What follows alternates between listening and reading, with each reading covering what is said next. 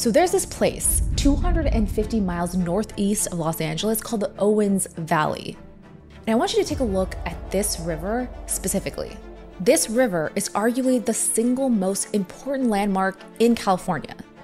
What happened here explains why California became, well, California.